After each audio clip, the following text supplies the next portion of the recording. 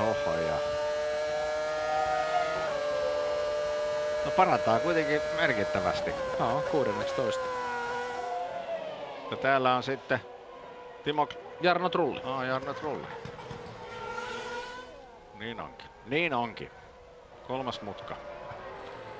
Se kuuluisa mutka, missä viime kaudella niin David Coulthard hyppäsi Alexander Wurtzin Williams yli. Kyllä. Alex Wurz pelimiehenä totesi siihen, että meinaa saada elämänsä tarkemman parranajon.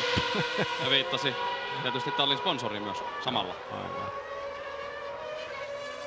Ja niin kuin Alexander Wurz viime kauden loppupuolella päätti sitten lopettaa tuo kilvan ajamisen, niin, niin vaan taas törmättiin täällä aamulla varikolla, kun mies tuli taas töihin ja tällä hetkellä mies on Hondan varakuljettaja. Kyllä.